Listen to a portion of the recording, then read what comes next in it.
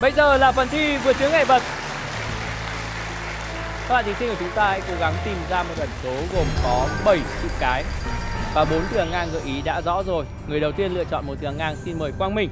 Em chọn hàng ngang số 3 Hàng ngang số 3 gồm có 7 chữ cái.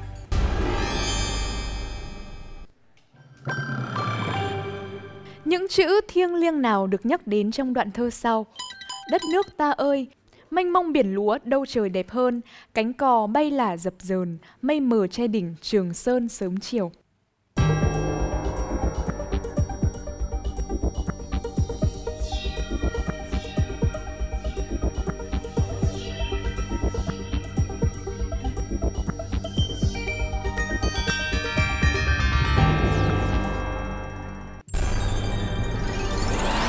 Việt Nam là câu trả lời của Quang Minh, Duy Minh, Huyền Diệu. Yến Nhi lựa chọn là quê hương. Việt Nam đất nước ta ơi, mênh mông biển lúa đâu trời đẹp hơn. Xin chúc mừng Quang Minh, Duy Minh và Huyền Diệu, mỗi bạn đã có thêm điểm.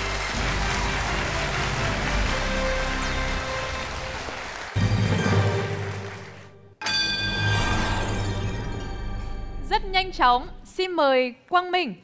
Em biết có thể hơi vội vàng nhưng mà em đoán chướng ngại vật là kim đồng ạ bạn nói rằng là bạn hơi vội vàng. Còn chúng tôi nói rằng bạn quá vội vàng. Khi mà mới chỉ có một từ hàng ngang thôi mà bạn đã đưa ra câu trả lời là kim đồng. Vì sao lại là câu trả lời này ạ? Thì kim đồng là một uh, đội viên rất nổi tiếng của Việt Nam chúng ta và góc hình ảnh vừa rồi thì em có nhìn nhìn thấy một đôi chân có lẽ là một của của một thiếu niên thì em đoán đó là kim đồng Bàn chân vừa rồi có lẽ đúng là của một thiếu niên. nhưng lại không phải của Kim Đồng. Và chúng tôi tiếp tục được lắng nghe một tiếng chuông nữa và đó chính là Duy Minh. Dạ thưa anh chị, ờ, câu trả lời của em là vo vi nam. Vì sao lại là vo vi nam? Dạ em thấy là vo vi nam là võ của Việt Nam nước ta và em thấy là cái chân đó có mang một cái quần màu xanh là võ phục, màu của võ phục vo vi nam. Nếu mà lần này Duy Minh trả lời chính xác thì Duy Minh cũng có thể cảm ơn Quang Minh một chút đúng không ạ? Vì đã đưa ra một phương án loại trừ rồi. Bạn đã bao giờ tập võ chưa? Dạ hồi lớp 3 em có tập karate. Và sau cuộc thi này phải về tập võ Việt Nam nhá. Xin chúc mừng Duy Minh. Và đúng như từ khóa của chúng ta đó chính là Vo Vi Nam, tên gọi quốc tế hóa của võ Việt Nam hay là Việt võ đạo. Đây là một môn võ, một môn thể thao được cố võ sư Nguyễn Lộc sáng lập và đúng như à, bạn Minh đã có thể thấy rằng là võ phục màu xanh lam của võ Vi Nam như chúng ta có thấy trên hình ảnh vật chướng ngại vật. Vâng và vo vi nam là sự kết tinh, sự gặp gỡ của những tinh hoa của võ cổ truyền Việt Nam và những tinh hoa của võ cổ truyền của một số nước khác trên thế giới. 85 năm qua thì Võ Việt Nam đã có đóng góp không nhỏ vào sự phát triển của võ thuật, thể thao và văn hóa Việt Nam. Và hiện môn võ này có mặt ở khoảng 70 quốc gia và vùng lãnh thổ trên toàn cầu với hơn 1 triệu võ sinh. Và một trong số 1 triệu võ sinh đó là Khánh Vị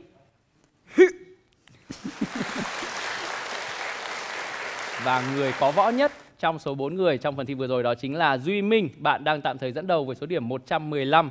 Còn bây giờ đã đến lúc chúng ta cùng xem ba bạn thí sinh còn lại đang sở hữu những số điểm thế nào. 20 là điểm số của Yến Nhi, Quang Minh có 30 điểm.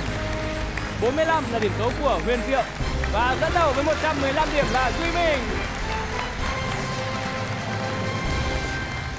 Em cảm thấy ờ, khá là hài lòng phần thi của mình nhưng tuy nhiên thì em cảm thấy ờ, hơi ờ, tiếc bởi vì em cũng đang đang chướng ngại vật ngày đầu tiên. Lúc đó là em đã có đáp án cho mình rồi và em chưa chắc chắn lắm về đáp án của mình nhưng mà khi thấy đáp án của bạn chưa chính xác thì em đã tự tin hơn. có thể là em hồi hộp quá nên là em nhìn không ra em thấy khá là tiếc vì em đã quá là vội vàng giờ phần còn lại thì em chỉ biết là sẽ cố gắng hết sức tận dụng được những cơ hội để ghi được thêm nhiều điểm số hơn ạ. Kiểm tra tốc độ của cả 4 thí sinh. Đã hoàn thành xong câu hỏi từ rất sớm. Ai nhanh tay và nhanh mắt hơn? Tăng tốc.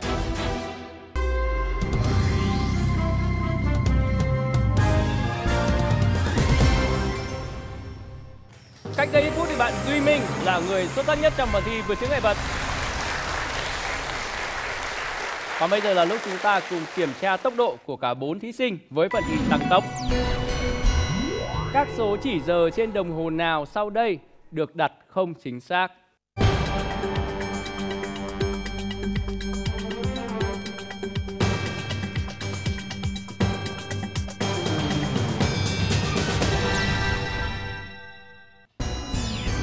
Có 3 câu trả lời là đồng hồ số 1, còn Yến Nhi là người duy nhất đưa ra câu trả lời là đồng hồ số 2.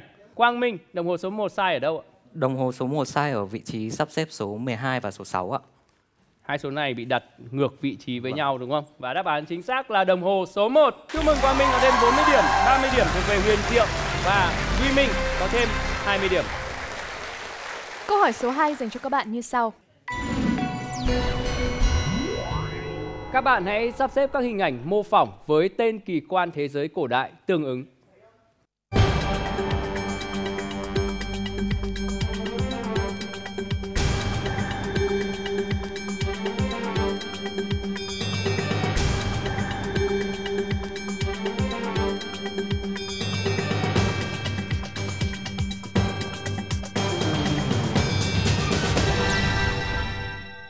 Vẻ như các bạn thí sinh đã hoàn thành xong câu hỏi từ rất sớm và chúng tôi rất nóng lòng để biết câu trả lời của các bạn. Có 3 bạn thí sinh lựa chọn là BCAD và Yến Nhi là người có đưa ra đáp án khác nhất BCDA. Và đáp án chính xác của chúng tôi trong câu hỏi vừa rồi đó chính là BCAD. Chúc mừng Duy Minh có thêm 40 điểm, Huyền Diệu có thêm 30 điểm và 20 điểm thuộc về Quang Minh. Và chúng ta còn hai câu hỏi tăng tốc nữa. Yến Nhi cũng thật bình tĩnh nhá. Hãy cảm giác như em đang chạy ấy, nhìn về phía trước để giữ thăng bằng. Câu hỏi số 3 trong phần tăng tốc dành cho các bạn như sau. Các bạn hãy tìm hình thích hợp điền vào dấu hỏi chấm.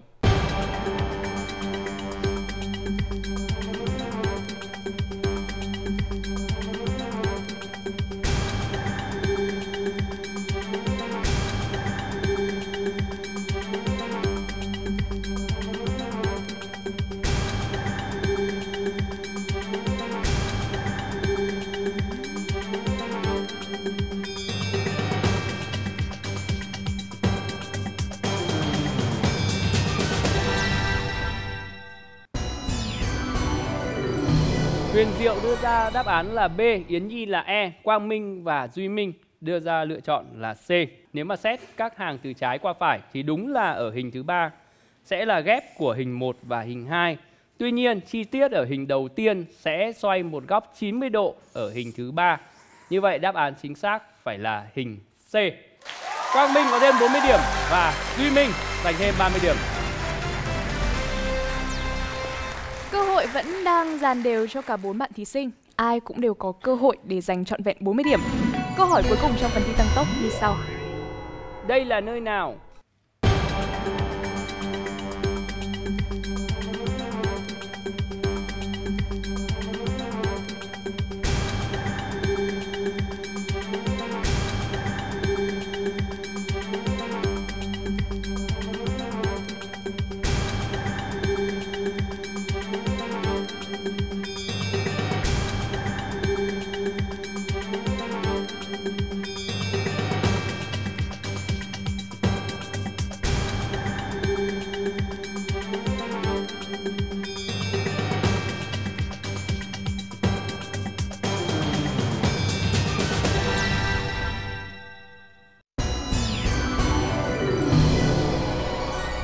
Như chúng ta có thể thấy thì à, bạn Quang Minh và bạn Duy Minh đều đưa ra câu trả lời là Nghệ An cũng có những sự liên tưởng rất gần với làng Sen hoặc làng Kim Liên rồi.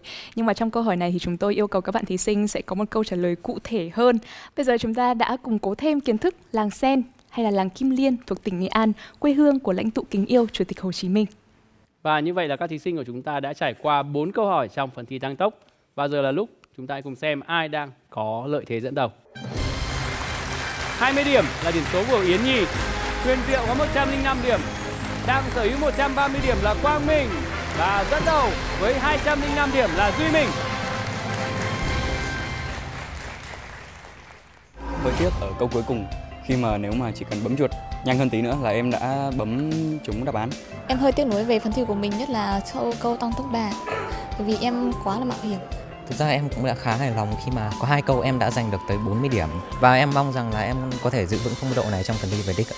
Dạ, phần thi cuối cùng thì em sẽ thi triển cái chiến lược chắc thắng của em. Em thì bây giờ vẫn thì có thể vẫn còn sức và em cũng sẽ cố gắng. Hai câu 30. Xin chúc mừng bạn. Em xin lựa chọn ngôi sao tháng 8. Chúng tôi muốn nghe những câu trả lời khác ạ. Trả lời của em là Em nghĩ câu trả lời là